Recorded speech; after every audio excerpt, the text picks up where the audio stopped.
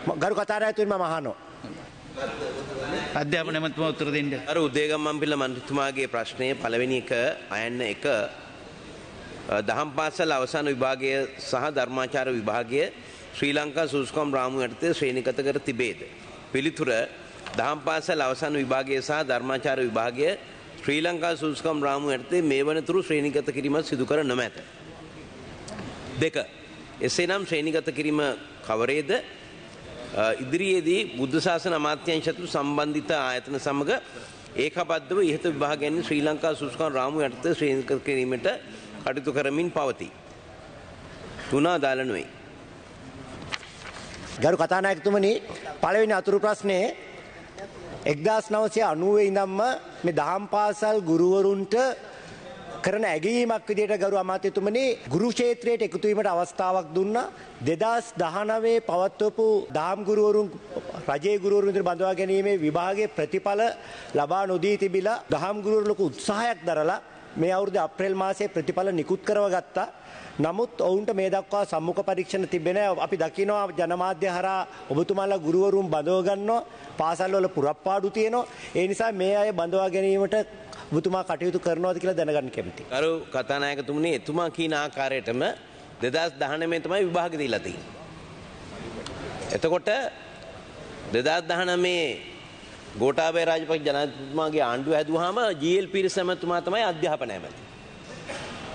එතකොට මම අධ්‍යාපන ඇමති වෙලා ඔව් මම අධ්‍යාපන ඇමති වෙලා එනකන් ප්‍රතිඵල නිකුත් කරන්න බැරි වුණා. මම බෞද්ධ කාර්යසාධක මණ්ඩලයත් එක්ක සාකච්ඡා කළා. එහි ප්‍රතිඵලයකට ඒක කඩිනම් කළා. විභාග එකින් එකට එකින් එකට කල් ගිහිල්ලා තියෙන වෙලාවේ තමයි තාම ලොකු ප්‍රයත්නයක් දරලා මේ ප්‍රතිඵල නිකුත් කළේ. දැන් අඩුම ගන්න ප්‍රතිඵල මන් නිකුත් කළා තියෙනවා. දැන් ඔබතුමා අහපු ප්‍රශ්නේ තමයි ගුරුවරු බඳව ගන්න. ගුරුවරු බඳව ගන්න ක්‍රම දෙකයි තියෙන්නේ. එකක් විද්‍යාපීඨ අනිත් එක උපාධිධාරී. එතකොට විද්‍යාපීඨවල අපි වාර්ෂිකව බඳවාගෙන යනවා. දැන් මේ වෙනකොට ප්‍රමාද වෙලා තිබිච්ච එක ඔන්ලයින් ක්‍රමයට ගිහිල්ලා 16 වෙනිදා 21 22 බැච් එකක් ගන්නවා. හරි. ඒකට ප්‍රතිපාදන හැමදාම භාණ්ඩාගාරයෙන් වෙන් කරනවා. ඒ විශ්‍රාම යන ගාන වෙනුවට.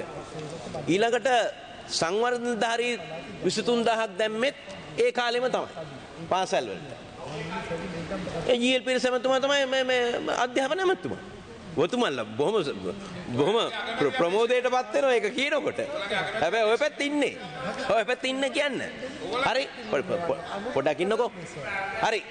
ඕ මම ඇරියස්ලියක නොමේටික ඉඳගෙන අහන්නකො ඩලසලා පිරම ඇතුමද එතුමන හිටි මාසකීපේ හරි. එතකොට දැන් මේ දුන්න දායාදේ. දැන් ඊය මගේ ප්‍රශ්නයක් ඇහුවා.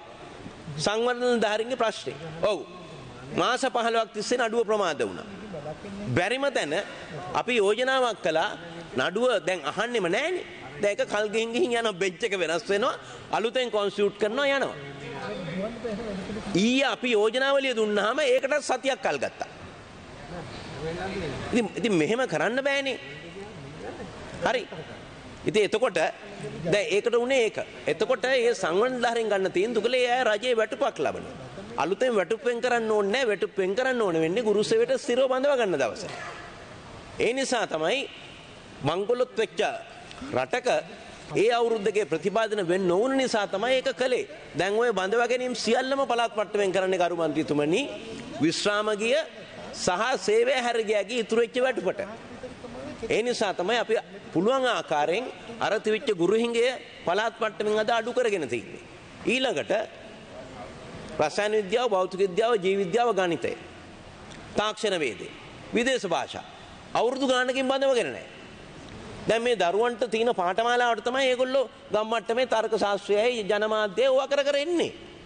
ඇවිල්ලා උපාධිය ගත්තාම රැකියාව වෙළඳ පොලේ රැකියාව නැහැ. ඊය අහපු ප්‍රශ්නයකට සම්බන්ධයි. දැන් මොකද්ද කරන්න තියෙන්නේ දැන් කරන්න තියෙන්නේ එකේබී පාසල් තියෙන්නේ 925යි එහෙමනම් අපි විද්‍යා ගණිත මේ ගුරුවරු දීලා ඒ ගමේ දරුවන්ටත් මේ විෂය ඉගෙන ගන්න අවස්ථාව දෙන්න ඕනේ. දැන් ඔබතුමා අහන ප්‍රශ්නේ බුද්ධ ධර්මයේ විෂය උගන්වන්න අපේ පාසල් වල ඇති වෙන්න ගුරුවරු ඉන්නවා. කලා උපාධිධාරීන් තමයි 175ක් ඔය සංවර්ධන ධාරෙන්ගෙන් ආවේ. එතන මේ බහුතරයක් බෞද්ධ ශිෂ්ටාචාරය කළා තියෙනවා. එතකොට බෞද්ධ දර්ශනය කළා තියෙනවා. මේ සියලු දෙනාට මේ සුස්කම් තියෙනවා. හැබැයි මම බැහැර කරන්නේ ඒ විභාග තියපු එකේ ප්‍රතිඵල දුන්නන් පස්සේ යම් පිරිසක් බඳවා ගන්න පුළුවන් නම් ඒ සඳහා අපි ප්‍රයත්න දරනවා භාණ්ඩාගාරයේ මුදල් වෙන් කරාම ඒ පිරිස බඳවා ගැනීමටත් අවශ්‍ය පියවර ගන්න.